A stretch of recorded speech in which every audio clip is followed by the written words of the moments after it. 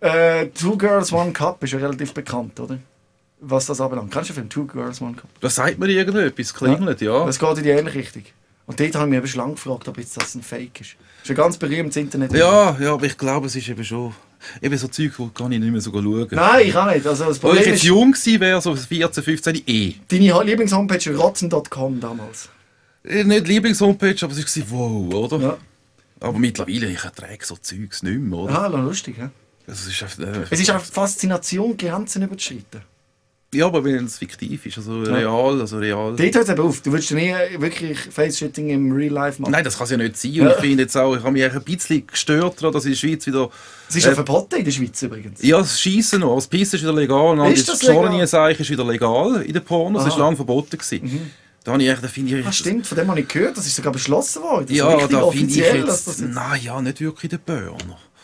Und die ganze Pornoindustrie bin ich jetzt auch nicht so Fan. Ja. Und jetzt in Deutschland, jetzt, was am meisten blöd tönt, wegen Filmblut und, und wegen Zombie-Games, wird das offiziell, offiziell legal. Mhm. Cheating-Pornos. Bettina, du schaust ganz verstört, da schaust du da von deinem kan von deiner Kanzlerin aber was denkst du? Psychiater. Was denkst du gerade? Nein, ich denke nicht Psychiater. Das denn? nicht. Nein. Ich probiere es eigentlich mehr zu verstehen. Ja. Ich lasse zu. Ich finde, genauso wie er soll sein Zeug machen, sollen die anderen sein Zeug machen. ja. Also vor allem bei dir ist ja auch Und ich bin halt weniger, ich, ja, genau, und ich bin halt weniger die, die dann würde sagen, ähm, die und die sind so und so. Es ist, ich finde, von dir ist noch recht viel so, die sind, und sind so ein bisschen allgemein, verallgemeinern und die sind scheiße, so wie sie denken. Und du willst ja aber auch, dass du irgendwie akzeptiert wirst mit dem, was du machst, wo du sagst, sie sollen das und das checken. Ja, das ist wieder ein kleiner Vorteil Nicht. bei mir. Mir ist es, das kann ich sagen, mir ist es wirklich pups Wurst egal, was das Umfeld von mir denkt. Mitmenschen. Das ist mir so egal. Also aber wirklich in dem Fall willst du ja gleich, dass die Welt so bleibt, wie sie ist. Nein, ich wollte eigentlich nur die Leute, dass man ein bisschen- das Hirn wieder einschaltet. Eben, willst du doch etwas. Ja, logisch. Ich meine, es geht, es betrifft uns dann alle, oder? Wenn wir jetzt auch weitermachen, so der böse Putin jetzt, äh, oder NATO, Speerspitze, Ukraine, äh, hallo eigentlich. Also eigentlich bist du ja für die Gesellschaft bist ja du der Böse.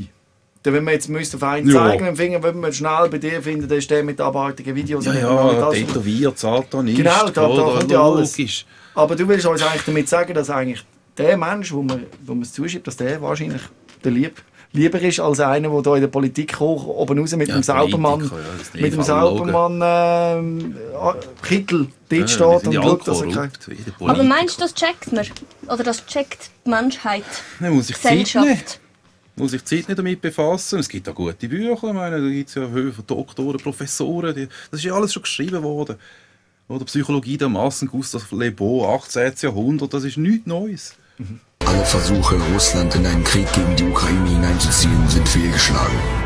Kiews nächster Versuch war das von ukrainischen Militärs abgeschossene Passagierflugzeug.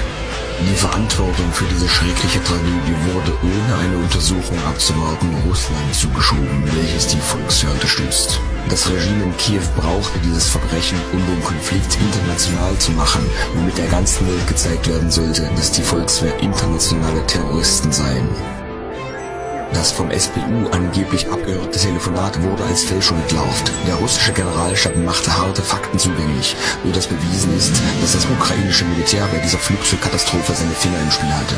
Diese mörderische Provokation führte Kiew unter der Anleitung US-amerikanischer Geheimdienste durch, um NATO-Staaten so in einen Krieg gegen Russland zu ziehen. Doch wozu brauchen die Amerikaner diesen Krieg? Um damit ihre Wirtschaftsprobleme in den Griff zu bekommen, genauso wie sie das schon im Ersten und Zweiten Weltkrieg taten. Die Schuldzuweisungen an Russland machen Sanktionen im Finanzsektor möglich, womit die Aktiva russischer Strukturen eingefroren werden können. Hunderte Milliarden Dollar würden so abgeschrieben, was die enorme Schuldenlast der USA erleichtert. Die verschlechterten Wirtschaftsbeziehungen mit Russland verschlechtern ihrerseits die wirtschaftliche Lage in Europa und schwächen dessen Stellung im Wettbewerb mit Amerika. Die Destabilisierung des Bankensystems wird den Abfluss von Kapital in die USA begünstigen, wo es die Dollarpyramide stützen hilft. Indem europäische Länder in einen Krieg mit Russland gezogen werden, werden sie stärker politisch abhängig von Amerika, was es den Amerikanern erleichtert, der EU für die USA günstige Entscheidungen zu diktieren.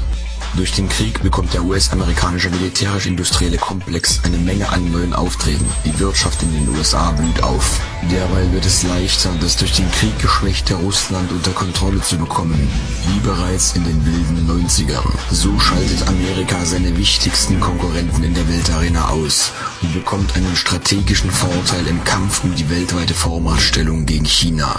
Im Gegensatz zu den EU-Ländern und Russland, die eine zerrüttete Wirtschaft und Berge von Leichen bekommen, sind die Amerikaner selbst nur Gewinner. Kriege auf fremdem Boden, das ist es, was die Wirtschaft der Vereinigten Staaten schon mehrere Male vor dem Zusammenbruch bewahrte. Man kann davon ausgehen, dass die ukrainische Armee den Genozid im Donbass nicht beenden wird und die Provokationen immer schrecklicher werden. Früher oder später wird Russland seine Truppen in die Ukraine entsenden. Aber um Millionen an Opfern unter Russen, Ukrainern und Europäern zu vermeiden, müssen sich die führenden Länder Europas von ihren Herren auf der anderen Seite des Ozeans abwenden und einsehen, Russland verteidigt nicht nur seine nationalen Interessen, sondern Russland ist bestrebt, den Ausbruch eines dritten Weltkriegs zu verhindern.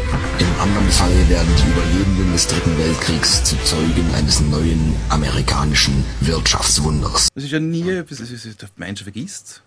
Die Leute, weiß auch nicht, die haben keine Zeit mehr zum Denken. Wir haben so einen Stress, oder? Arbeiten, Geld verdienen. Und du bist Familie. schon immer so gewesen. Also es ist nie mal, also du hast dich nicht etwas zu dem gemacht, ein, ein Event, wo du plötzlich gemerkt hast, die Welt ist scheiße. Wo ich ja schon zeig's immer denke, das ist komisch, oder? Was ist eigentlich los? Wieso brauchen wir Krieg? Und ich jetzt mal, habe ich gelernt nach diesen Jahren, unser unser Finanzsystem braucht Krieg. Ah, ja, genau. Es ist so, wir brauchen, oder? Und jetzt ist noch mal Zeit, oder? Entweder geht jetzt die Weltwährung Dollar flöten oder sie kommen mit dem Krieg über. Und am besten ist der Krieg in Europa, ist ja toll, oder? Es Ja. Und Menschen will man mit aller Kraft stillhaben, die vielleicht... Ja, die totale Überwachung, oder? Ja. Das ist einfach grauenhaft, oder? Das war also wieder deine Psycho Heiko Horror Show. Viel Spaß damit und bis zum nächsten Mal.